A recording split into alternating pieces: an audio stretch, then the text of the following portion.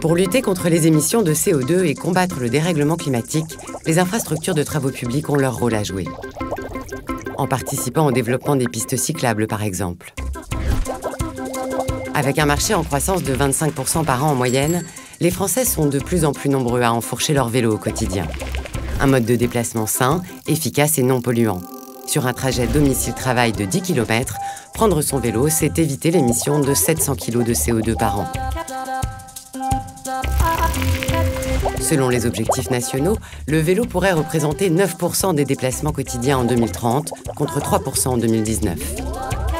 À une condition, mettre à la disposition des cyclistes des pistes en voie dédiées, des bandes cyclables, des voies vertes et des voies de bus partagées, et ce, à la ville comme à la campagne.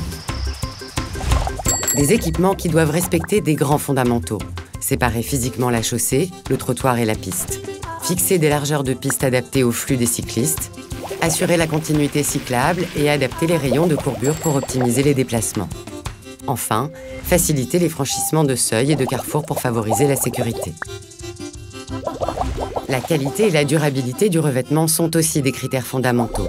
En proposant des sables stabilisés, des enduits superficiels, des bétons hydrauliques ou des enrobés à froid, moins polluants et plus durables, les travaux publics mettent eux aussi leur savoir-faire au service de la petite reine.